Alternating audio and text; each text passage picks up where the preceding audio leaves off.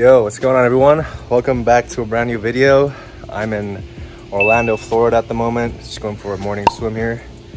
Uh, really nice weather. In this video, we'll be learning how to invoice SMMA clients. So if you guys have not signed your first ever client yet, then this is a great video to watch just to prepare you. So when you actually do get your first client, then you just know straight away what to do with the invoicing and actually how to collect payments. So let's dive into the laptop. I'm just gonna finish my swim real quick. I'll meet you guys in the room.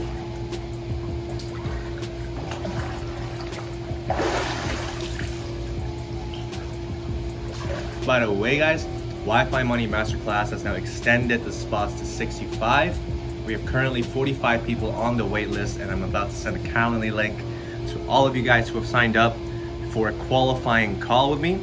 So that's just to see if you're a good fit and if I actually see potential. So do sign up for the waitlist if you want to take your agency to the next level and scale it to six figures per month plus. What's up guys? Hope you guys enjoyed that little pool clip there. Welcome back to a brand new video. If you guys are new here, I am Hugo. I'm a seven figure dropshipper and a six figure per month SMMA owner. I make videos about dropshipping, SMMA, online business and how to become a great business owner. So if you guys are interested in that, or if that even sounds like you, drop me a subscribe and a like in this video and I really appreciate your support. So in this video, we'll be talking about how to actually invoice and charge your clients for SMMA. So let's dive right in and let's talk about these details. So one thing that a lot of agency owners uh, do incorrectly when they're charging their clients is that there are a lot of back and forths for every single charge. So what do I mean by this? So let's say you're charging your client for the first time and you send them an invoice, you send them a contract, they actually settle it that's all good. But let's say one month later when you have to charge them again, let's say you sign them on for six to 12 months, next month, let's say you have to charge them again and you have to send them another invoice. But let's say, you know, they have a lot of stuff to do. They have to worry about, you know, scaling business, of sourcing their products, uh, you know, dealing with employees. It's very difficult sometimes and actually their inbox might be flooded. So sending them invoice every single month and asking them to pay might not be the best decision. So how would you guys compensate for that? Well, so for me, I use Stripe to invoice all my clients. It's very simple. They do charge, uh, you know, a certain fee that takes away from your monthly retainers, but I think it's just really easy to use and very seamless. Uh, less worry about everything. I just get my bank account deposits every single month. It's very, it's very comfortable that way. So I recommend that you guys use Stripe. I know people who use Simply Invoices to do that as well I think they do work through Stripe. So I'm not quite sure about that, but you guys should be setting up subscriptions on your Stripe account because subscriptions are different from one-time payment link. Just like the App Store, you know, you get charged automatically and billed automatically by the end of every single month. But using a subscription just causes less friction for the client to actually pay your invoice. So setting up a subscription on Stripe is the first step that you guys need to be doing. If you guys wanna have a seamless invoicing system and automate that process so you don't have to worry about, you know, uh, you know, calculating how much you need to charge and stuff like that. One more thing about subscriptions is that if you guys do do a retainer plus a performance deal, then you guys will need to set the subscription to your retainer. And by the end of every single month, just send them an extra invoice for the performance fee. And that is what I do. And also a very quick sales tip right now is that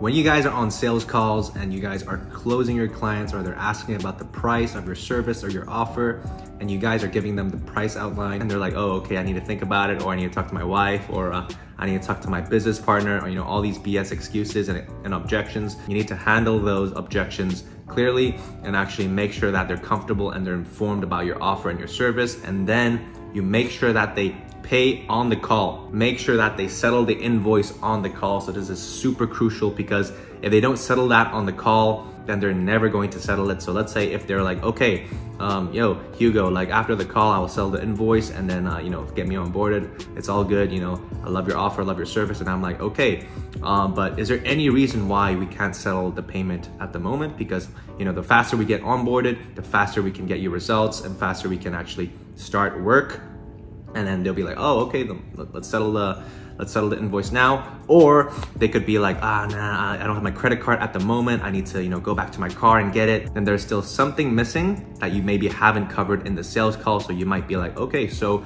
this actually happens to me all the time. You know, when I get on sales calls with clients, they tell me, you know, um, might, might not be the, the best fit, even though they seem very inclined to go forward with the with the service. Most of the time, when I deal with these sales calls, um, most of these clients aren't a great fit. Like I'm just gonna be completely transparent with you. You know, most of these clients are just not the best best of fits, and that's when I actually let them know uh, we, we might not be the best fit. Best of luck for you and your business and we move on. But in your case, you're literally the perfect fit. So it's in my best interest to actually work with you. And I think clients like you will generate the best results because you're so inclined and very eager to generate results and that's why we actually settle the payment on the call because the faster we get done with everything, the faster we can generate your results. So all in all, guys, if the prospect does not settle the invoice on the call, I do not even categorize that as a lead. I do not even categorize that as a, you know, a client, a paying client. I used to do that all the time when a prospect gets off the call um, before the call, they're like, okay, I'll settle the invoice straight after the call. And I do the best of my ability to actually recapture those prospects to make them into paying clients. And I still follow up with them, but they're not actual paying clients. So if you want to secure that, make sure that you guys close and make sure that they pay and settle the invoice on the call. So basically what I usually say before they actually make the payment is that I say, so please give me your first and last name, your business address. Once that's settled, we can get you onboarded. We can get your ads if you're doing ads, service delivery, or if you're doing email marketing, we can say, we can get your campaigns and flows up and running ASAP. So it's generally pretty easy to convince uh, prospects to actually sell the invoice if you give them a strong enough advantage to do so. And in that case is that they can get results faster. So make sure that you guys do state the benefit of invoicing the contract so the client is more eager to go through with it. And also another thing to do with invoicing is that never do bank transfers or bank wires because they're just such a hassle to do. You know, you need the Swift code and all that, everything. Like it's very annoying. I used to do that for clients in China because they couldn't, you know, do Stripe. So make sure that you guys do stick with those Stripe subscriptions. And usually when the clients are actually paying the invoice, they usually take, you know, anywhere from five to 20 minutes to settle that invoice depending on where their card is. So if their card is right next to them, it's usually pretty quick. What I usually do is I just sit there and wait for them to actually settle the invoice. I don't even say anything. Um, I'm just like, okay, uh, I don't even say anything. I don't ask questions on how is it going and stuff. I just sit there and wait for them to settle the invoice. And if they have any questions during that period, if they have any hesitation, make sure that you guys are ready to answer or, you know, deal with any objections that they have. Because I know that the second that, you know, that the call ends, they're just gonna, you know, uh, close that tab um, and actually not pay the invoice and say, oh, no, I'll do that later. Okay, so make sure that you guys stick with them throughout the call and make sure that they're focused on making the payment yeah guys, so hope you guys enjoyed this invoicing tutorial. If you found any sort of value in this video, please drop a like, a comment, and do subscribe to my channel if you want more of these coming your way.